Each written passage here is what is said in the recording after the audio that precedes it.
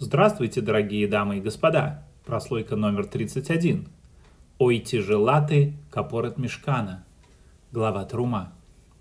В нашей недельной главе, прошедшей Трума, да и в последующих главах до конца книги Шмот, рассказывается о строительстве мешкана, переносного храма в пустыне. Одной из центральных составляющих частей мешкана является святой ковчег завета, в котором хранились 10 заповедей, скрижали с 10 заповедями.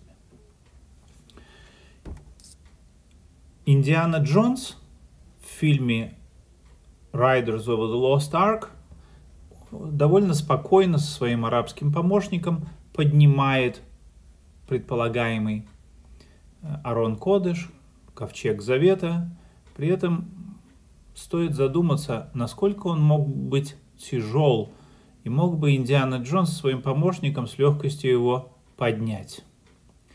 Сам Арон Кодыш не представлял особой тяжести, потому что был сделан из очень прочного и легкого дерева и только покрыт золотой пленкой. Скрижали, находящиеся внутри Арона, Моше Рабейну нес сам своими руками. Поэтому они тоже не должны были быть чрезвычайно тяжелы. Вот крышка, так называемая Арона Кодыша, именуемая в Торе Капорет, представляет из себя серьезную загадку. Начнем с того, что Тора говорит о ее размерах. Обратим внимание только на сам борт, то есть основание капорет, а даже не будем брать во внимание изображение Крувим, который находится на ней. Вот это вот здесь отмечено на этой картинке. Ее размеры говорятся в Торе. Длина ее 2,5 амод, ширина ее полтора амод. Локтя. Полтора локтя и 2,5 локтя. В локоть, вот он египетский локоть, в раскопках времен фараонов, около 52 сантиметров – месопотамский локоть э, ассирийских э, царей времен тоже 52 сантиметра. Еврейские э, авторы дают размеры локтя, ама от 47 сантиметров до 57. Учитывая археологические источники, предположим, что ама это 50 сантиметров. Для того, чтобы выяснить вес капорет, нам необходимо будет знать ее толщину. Но Тора не дает размер толщины или высоты, если хотите, э, капорет. Однако наши мудрецы в Талмуде Масехет Сука говорят, что ее размер был тефах, кулак.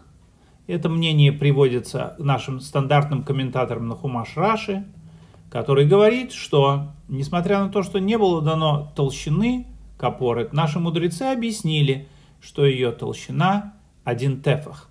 Тефах это где-то от 8 до 9 сантиметров, от 10 сантиметров, около 9 сантиметров в среднем. Поэтому, если мы попробуем рассчитать сначала объем капорет, зная 2,5 амод, умножим на 50 сантиметров, полтора амод ширина умножим, умножим тоже на 50 сантиметров, у нас получится 9375 квадратных сантиметров. Если потом это мы умножим на 9 сантиметров, на высоту, которую утверждает Талмуд, то у нас получится 84 375 кубических сантиметров. Какова плотность золота? Чтобы посчитать вес э, нам нужно знать плотность золота. Тора упоминает, что сделать капорет нужно из загавтагор, из чистого золота. Ну, чистое химическое золото имеет плотность 19,5, то есть в 19,5 раз тяжелее воды. Однако, наверное, безопаснее было бы предположить, что в древние времена чистое золото при этом все равно имело некие примеси. Поэтому будем на стороне более безопасной в расчетах, и, предположим, 18 была плотность того золота чистого, которое использовалось для капорет.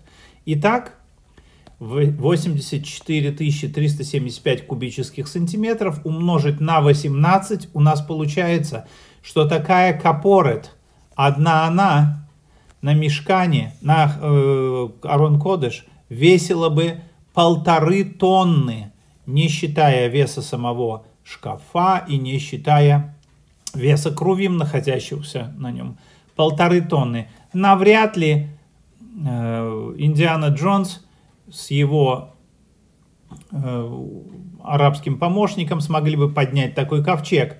Более того, даже четыре Коэна, которые должны были нести ковчег, тоже, скорее всего, э, им было бы не просто нести свыше полторы тонны ковчег, и, скорее всего, деревянные шесты навряд ли бы выдержали полторы тонны. Но дело тут даже не в этом проблема возникает совершенно с другой стороны. Дело в том, что в главе Пикудей, дальше в конце книги Шмот, говорится, сколько всего золота было собрано. Всего золота было э, для, собрано для работы в мешкане. 29 кикаров и 730 шекелей. В своих предыдущих прослойках, в частности в прослойке, посвященной празднику Пурим, люди гибнут за металл. Я уже обсуждал и размеры вес кикара, и вес шекеля. Если кому-то интересно, могут посмотреть это там. Один кикар, согласно Торе, это 3000 шекелей. Получается, что если 29 мы умножим на 3000 и прибавим 730, получается, что вес всего собранного золота был 87, 87 730 шекелей. Если мы это умножим на 12, что по археологическим раскопкам максимальный вес шекеля библейских времен, у нас получится, что всего золота собрали чуть больше тонны, 1052,5 килограмма. Бесспорно, всего этого золота, собранного на строительство мешкана не будет хватать только для одной крышки, для одной капоры. Не говоря уже, что надо было сделать минору из чистого золота, покрытие э, предметов храма и крувим и так далее. То есть понятно, что у нас около 5, недостача около 500 килограмм золота. Многие могут мне возразить и сказать, на каком основании мы там не признаем археологию, на каком основании ты используешь 12 ши, э, граммов за шекель. Э, мы предпочитаем другие э, цифры, упомянутые средневековыми мудрецами. Пожалуйста, цифра, упомянутая Раши, 14,5 грамм за шекель, что в принципе соответствует тому, что являлось полшекеля в римские времена. Все равно, даже умножая на эту цифру, у нас получается 1278 килограмм, и все равно мы в минусе на 300 килограмм, только чтобы сделать одну капорет. И даже если мы предположим в соответствии с э, фантастическими цифрами, которые часто распространяют сефардские раввины в современности, что вес шекеля это 18 грамм, что совершенно не соответствует никакой археологии, то даже тогда вес капоры, вес собранного золота всего получился бы 1579 килограмм. То есть едва хватило бы только на подставку капорет – но не хватило бы остальных 79 килограмм в плюсе, не хватило бы на минору, на остальные шулхан, на, и на остальные покрытия, и на все остальные предметы. То есть понятно, что предположение, высказываемое Талмудом и приводимое Раши, что толщина капорет была 1 тефах, около 9 сантиметров, просто не соответствует тексту Торы. При этом я должен сказать, как говорит, следуя правилу «отвергаешь, предлагай».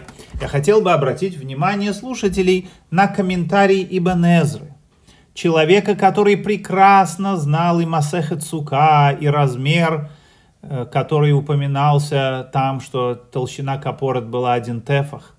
Говорит Ибн Эзра, что от имени Равсадия Гаона, вавилонского равина X века, главного равина, рапортуется, что весь вес капорет, вес этого прямоугольного основания, которое было вроде бы крышкой для а, Арона Кодыш, и общий вес ее был один кикар, то есть от 36 до 40 килограмм золота. Ибо Незра, продолжая свой комментарий, говорит сам, «Кфимаши кибалну мявотейну» то, как мы приняли традицию от наших праотцов. Капорет весит один кикар. Он тоже считает, что капорет весит от 36 до 40 килограмм. То есть, бесспорно, ни Равсаадия Гаон, ни Ибн Эзра не принимали э, того, что сказано в Масехет Сука, что толщина капорет была э, один тефах, и вся из чистого золота. Если мы поставим их вес и обратным образом из этого веса попытаемся рассчитать, сколько же бы э, толщина, была бы толщина капорет согласно Рафсадию и Бенезра, получится, что ее размер был около 2-3 миллиметров. Понятно, что из чистого золота сделанная крышка для мешкана из 2-3 миллиметров прогнется под весом э, самих э, крувим, изображений ангелов, которые сделаны над ней. Поэтому правильнее всего, скорее всего, предположить, что Арон Кодыш был сделан с деревянной крышкой, которая была, так же, как и весь Арон, покрыта золотым покрытием, тонким. Сверху на эту крышку, покрытую золотом, ставилась еще одна платформа золотая 2-3 мм толщиной с крувим, называемая капорет. Если предположить так, тогда капорет это не крышка мешка Арона Кодыш, а некая структура, которая устанавливалась на крышку. С позиции геометрии, физики, механики, такое объяснение строительства Арона Кодыш э, намного больше соответствует тексту Торы. Конечно же, э, есть такие из нас, которые любят все объяснять чудесами и производить чудеса там, где объяснение не работает. Для таких людей, конечно, ни физика, ни математика, ни геометрия не будут иметь никакого значения. Однако следует упомянуть, что мудрецы наши учат нас правилу «Эйн сомхим аланес» мы не имеем права надеяться на чудо, особенно во службе Всевышнему. Поэтому, скорее всего, когда Бецалел строил мешкан, он рассчитывал все не в надежде на чудо, что вес или плотность э, золота изменится – и стойкость деревянных шестов будет другим. Так или иначе, я хотел бы всем пожелать хорошего дня и внимательного изучения Торы, особенно там, где это можно посчитать. Всего хорошего, с вами был Барух Юабов.